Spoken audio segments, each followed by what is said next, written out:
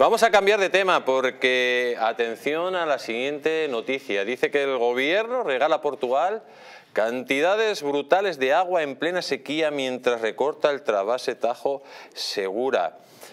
Eh, es increíble, en medio de la mayor sequía que tiene España, y estamos eh, cediendo más del agua que tenemos pactada con Portugal, porque solo tendríamos que darle el 15% según el tratado, y le están dando el 50%. Y mientras ese mismo agua se la están negando a los agricultores del Levante. Tenemos al otro lado de Sky a nuestro querido José Enrique de Tomás. Buenas noches, don José Enrique, ¿cómo está usted? Buenas noches, don Jesús Ángel, encantado de oírle. Don José Enrique, eh, ¿cómo es posible que eh, el agua del río eh, Tajo, que es un agua que sería muy necesaria para todo el levante español, pues directamente se esté entregando a Portugal donde han aumentado considerablemente, por ejemplo, los cultivos del olivo, del olivo de regadío, y sin embargo aquí pues están muriendo de sed nuestras frutas, nuestras hortalizas, eh, por esta decisión del gobierno de España que encima está todavía más enfangada por el tema del trasvase que le están negando el trasvase a nuestros hermanos de Levante. ¿Cómo se entiende esto?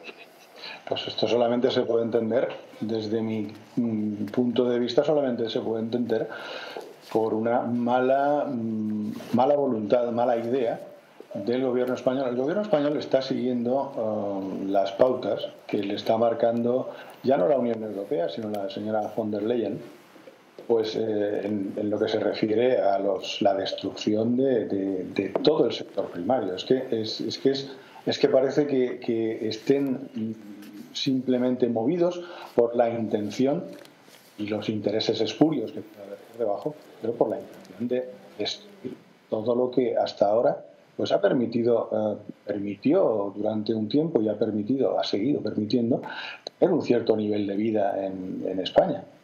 Si nos cargamos el sector primario, que es lo que están buscando con las restricciones del agua, con las restricciones al abonado, por parte de los agricultores. Ahora, eh, la Unión Europea también ha dicho que bien, que los, eh, los, la experiencia en, en, los Países Bajos pues ha sido estupendo y que la decisión de eh, expropiar el 30% de los terrenos cultivables, que esto, esto se, va, se va, va, a ir hacia adelante. Bueno, España es un discípulo aventajado o un, un pelota aventajado de la señora von der Leyen y toda su cohorte. Bueno, así aquí en España, España es líder, claro como no, de, en destrucción de, presas. Eh, España es líder en, en quijotismo, porque eh, todo esto no es que se da a Portugal el agua, el agua peninsular, eh, que hace falta en otras regiones de España, indudablemente. Y aquí mm, yo estoy en Levante y en el Levante, bueno, pues esa, esa sequía se padece, sobre todo en la huerta, en una de las huertas importantes de España, que es la región de Murcia. Eh, si no hay agua, no hay agricultura. Y si no hay agricultura, no hay insumos, no hay comida. Y parece que lo que se esté buscando es eh, primero destrozar, destrozar, reducir a cenizas eh, las posibilidades de desarrollo y, bueno, y vuelvo a hablar otra vez de la soberanía alimentaria, que es algo que nos debe preocupar a todos. Pues parece que se intenta reducir a cenizas todo eso y luego con el encima con el, con el punto ácido de que eh, se está regalando esos regadíos que aquí son tan contaminantes y que aquí, eh, esas, zonas de cultivo que aquí tanto contaminan y tanto calientan el clima, pues resulta que se está regalando a Marruecos.